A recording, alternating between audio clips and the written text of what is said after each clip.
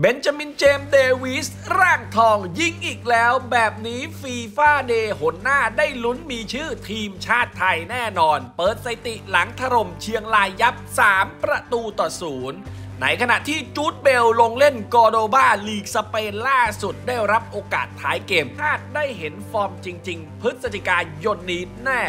เปิดเบื้องหลังโคตรสุดยอดทัพนักกีฬาฟุตซอลเดินทางถึงไทยหลังสร้างตำนานในฟุตซอลชิงแชมป์โลกทั้งหมดนี้ติดตามไว้ในแตงโมลงปิยพงษ์ยิงครับ สวัสดีครับแตงโมลงปิยพงษ์ยิงวันนี้นะครับเรามาติดตามข่าวสารนะครับเอาละครับต้องบอกว่าเรื่องแรกเลยเนี่ยต้องถือว่าเป็นการ comeback มาของเบนจามินเจมส์เดวิสเลยก็ว่าได้นะครับเพราะว่าก่อนหน้านี้เนี่ยเจ้าตัวเนี่ยฟอร์มการเล่นนะครับตั้งแต่อยู่กับชลบุรีอยู่กับ BG คือมันไม่ไปไม่มาสักทีหนึ่งนะครับทำยังไง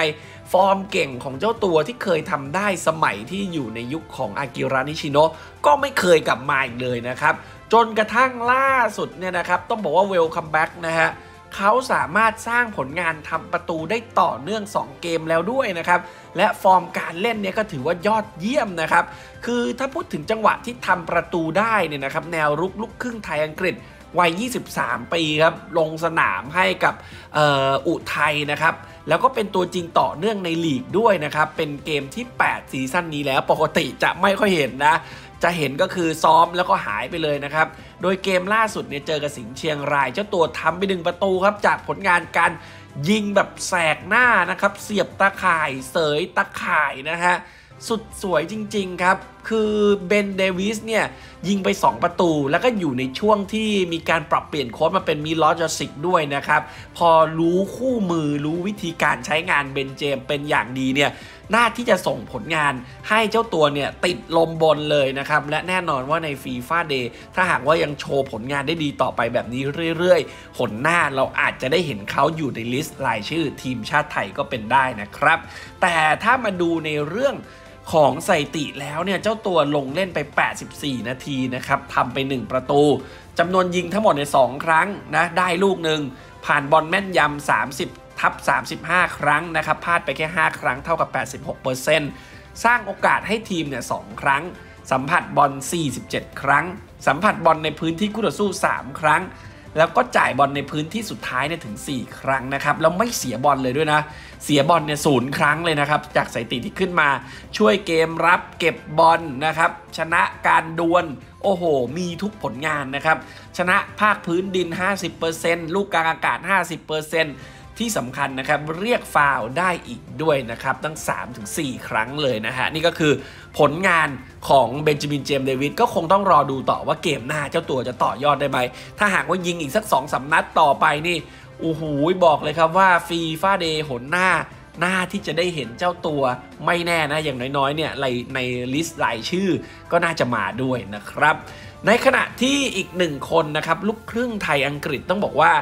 น่าเป็นห่วงไม่น้อยเหมือนกันนะครับสำหรับจู๊ดซุ่นทรัพย์เบลล์เนี่ยคือล่าสุดเจ้าตัวก็มีโอกาสได้ลงสนามให้กับกอร์โดบาในลีกของเซกุนด้าสเปนเนี่ยนะครับ แต่เจ้าตัว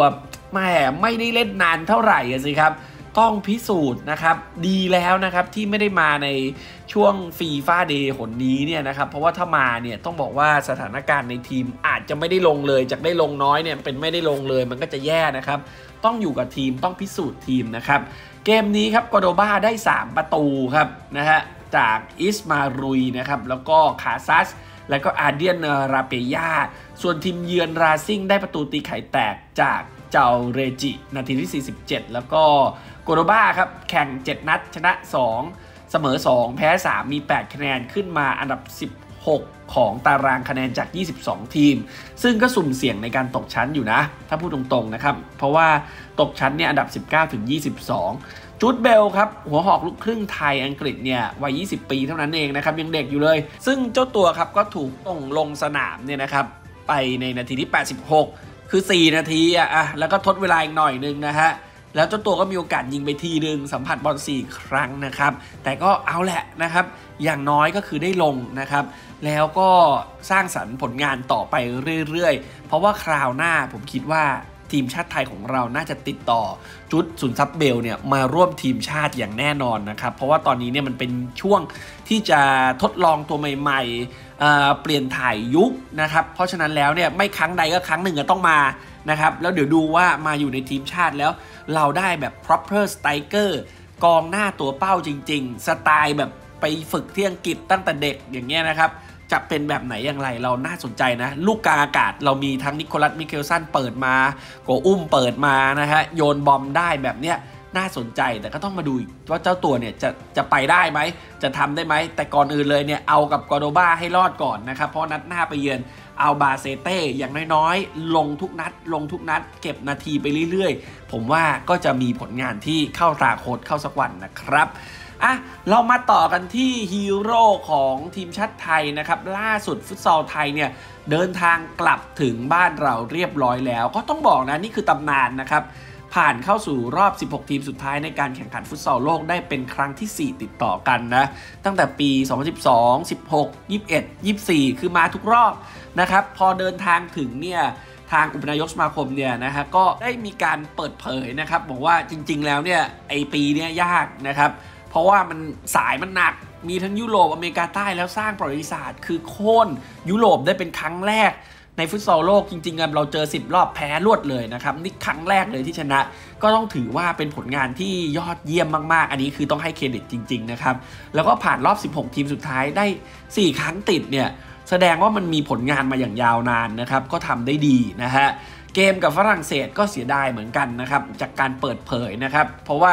ตอนที่เราตามอยู่เนี่ยเราต้องเอาคืนให้ได้ไงนะครับแล้วเราก็เล่น power play สุดท้ายแล้วฝรั่งเศสเขา ตั้งเกมรับ power play มาได้ดีนะครับ แล้วก็มาได้ประตูที่เอาชนะทีมชาติไทยไปนะครับ แล้วก็ยิงเปี้ยงเปี้ยงเปี้ยงต่อไปเลยนะครับ หลายลูกจบที่ 5-2 นะ แต่ก็ไม่เป็นไร มันก็ผ่านมาแล้วนะครับ แต่สุดท้ายแล้วเนี่ยนี่ก็คือฮีโร่นะครับของแฟนๆฟุตซอลไทย ฟุตบอลไทยด้วยนะครับ ส่วนเรื่องโค้ชมิเกลเนี่ยเดี๋ยวรอดูนะครับว่าสุดท้ายแล้วเอายังไงกันแน่ แต่ว่าเขาอยากทำต่อแหละดูแล้วนะฮะ ส่วนตำนานของเราอีกคนหนึ่งครับมูฮัมหมัดอุสมามุซาครับน่าเสียดายที่เราไม่สามารถเข้ารอบ 8 ทีมสุดท้ายได้เจ้าตัวบอกนะครับ เกมกับฝรั่งเศสมันยาก รู้อยู่แล้วว่าเป็นรอง ซึ่งทุกคนสู้เต็มที่ แต่เราก็มีข้อผิดพลาดเยอะนะครับ เรามีโอกาสเยอะในเกมฝรั่งเศส แต่ว่า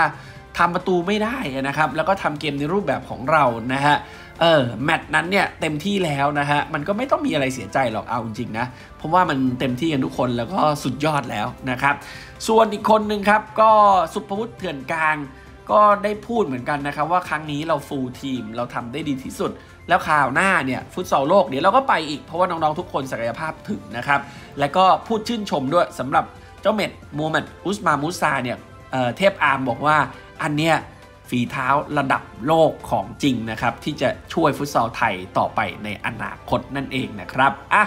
แต่ว่าโปรแกรมถัดไปเดี๋ยวเตรียมดูกันด้วยนะ เดี๋ยวฟุตซอลไทยเนี่ยจะชิงแชมป์อาเซียนนะครับ เร็วๆนี้แล้ว 2-10 พฤศจิกายนนะครับ เล่นกันที่นครราชสีมานะครับ แข่งวันที่ 2 3 5 6 พฤศจินะครับ ก็ไล่เรียงไปเลยนะฮะ เจอบูไน เจอติมอมาเล แล้วก็เวียดนามนั่นเองนะครับ อะ นี่คือทั้งหมดทั้งมวลถ้าหากว่าชื่นชอบอย่าลืมติดตามกันได้ครับ โดยการกดไลค์ กดแชร์ กด Subscribe กดกระดิ่งแจ้งเตือนจะได้ไม่พลาดทุกคลิปความเคลื่อนไหววันนี้ลาไปก่อน สวัสดีครับ และสำหรับใครที่อยากเดินทางไปดูฟุตบอลพรีเมียร์ลีกอังกฤษแบบสดๆ ติดขอบสนาม ห้ามพลาดด้วยประการทั้งปวงแมนเชสเตอร์ยูไนเต็ดเปิดบ้านต้อนรับการมาเยือนของอาร์เซนอลลิเวอร์พูลปะทะเซาท์แฮมป์ตัน 2 คู่ 2 เกม เดือดสุดๆ สามารถโทรติดต่อสอบถามข้อมูลเพิ่มเติมได้ที่เบอร์โทรหน้าจอและสามารถ add ID LINE ได้เลย